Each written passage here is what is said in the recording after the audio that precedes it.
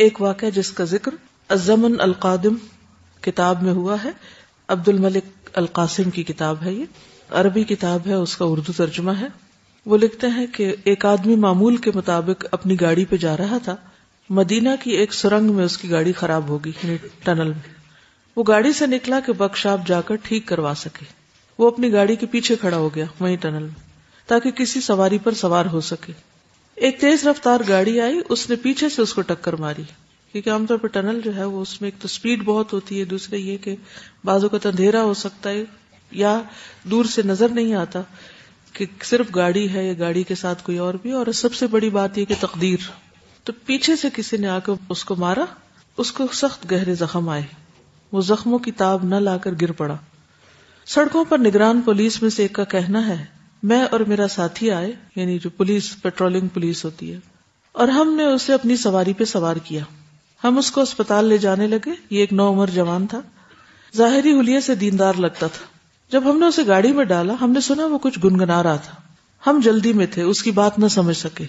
मगर जब हम गाड़ी लेकर चल पड़े तो हमने वाजे आवाज़ सुनी कि वो कुरान की तिलावत कर रहा है। और उसकी आवाज़ बहुत खूबसूरत और तरोताजा थी, कि हम हैरान रह गए। हालाँकि सूरत हाल ये थी कि खून से उसके कपड़े रंगीन हो चुके थे, हड्डियाँ टूट चुकी थी। लगता था कि जान कुनी की हालत में वो तरतील के साथ कुरान पढ़ता रहा। मैंने अपनी ज़िंदगी में ऐसी आवाज़ न सुनी थी। यूँ लगा कि मेरे जिसम और पसलियों में लर्जा तारी हो गया यानी उसकी वो तिलावत सुन के। अचानक उसकी आवाज़ रुक गई। मैंने मुड़कर देखा तो क्या देखता हूँ कि उसने शहादत की उंगली उठाई हुई है और कल में शहादत पढ़ रहा है। फिर उसका सर झुक गया। मैं पीछे की तरफ़ उछला। मैंने उसका हाथ टटोला। उसके दिल की हरकत और सांस को चेक किया। कुछ भी बाकी न था।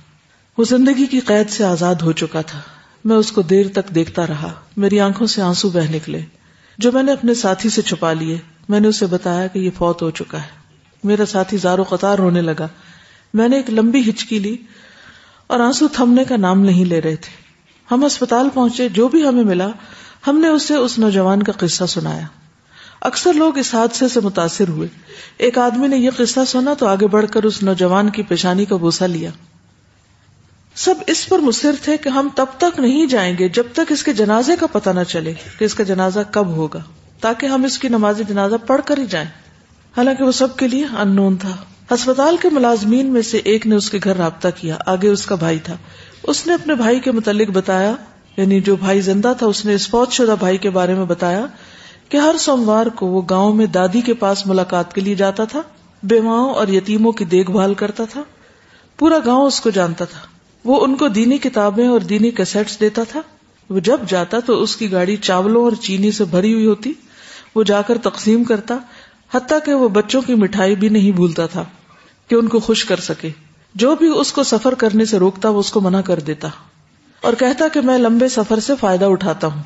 यानी मैं घबराता नहीं, मैं उसको एंजॉय करता हूँ। रास्ते में कुरान हिफ्स करता हूँ और उसकी दोहराई करता हूँ।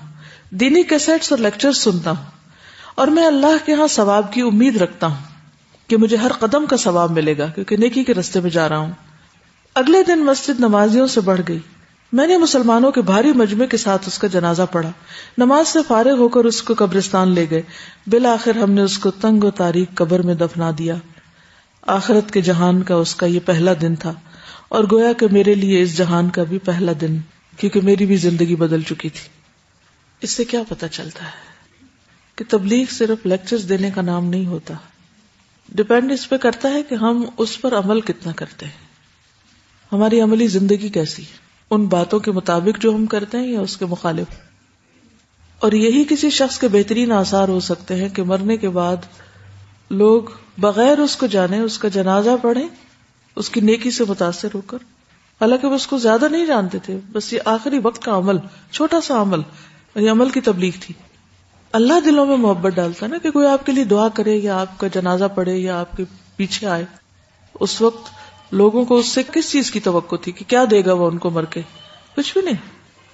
वो उसकी मोहब्बत में जा रहे थे उसके पीछे। और उससे मोहब्बत क्यों थी? क्योंकि वो अल्लाह से और अल्लाह की किताब से और अल्लाह के दीन से मोहब्बत करता था अब जितने भी लोग उसकी वफात के इस वाक़े से मुतासर होकर बदल गए, उसका अजर किसको मिलेगा? उसी को मिलेगा। तो हकीकत यह है कि जो अच्छा खात्मा है, वो इंसान की सबसे बड़ी खुशकिस्मती है। कोई बात आप कहेंगे इस वाक़े से? जी, ज़िंदगी में उसका जो अमल था और जिस पर उसकी इस्तकामत थी और लोगों के रोकने के बावजूद वो अपनी नेकी पे डटा रहा वही अमल, उसका आखिरी अमल बन गया।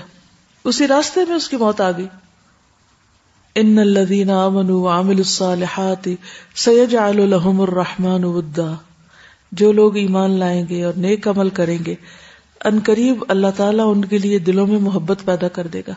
तो हमें लोगों के पीछे भागने की ज़रूरत नहीं कि वो हमें चाहें या वो हमें मोहब्बत दें। हमें अपने आप को अल्लाह के साथ खालिज करने की ज़रूरत है। और बाकी सब कुछ तो अल्लाह के हाथ में। वो जिसके ज़रिए चाहेगा दिलवाएगा। हज़रत इब्राहिम सलाम जब उनको आग में फेंका जा रहा था तो इस दौरान के उन्हें उठा के आग की तरफ़ ले जाया जा रहा था। जिबरील सलाम हाजिर हो गए कि बताइए मैं आपकी क्या मदद कर सकता हूँ? उन्होंने क्या कहा था उस वक्त? हसबी अल्लाह नमल वकील। आपकी मदद नहीं, अल्लाह की मदद चाहिए। और अल्लाह उनको काफ़ी हो गया। बंदे तो खुद मोहताज है, मखलूक तो खुद मोहताज है। लेकिन इतना तवक्कुल हो अल्लाह पे तो फिर हम कहते हैं ना, वरना तो हर वक्त हमारी नज़र उस पे होती है जो लोगों के हाथ में होता है, कि किसी तरह ये हमें कुछ दे दें, इनसे हमें कुछ मिल जाए, जबकि सारे खजानों का मालिक कौन है? अल्लाह। अल्लाह मान आलिमा आतईता वला मोती अलिमा मनाता वला जद्दी मन कल जद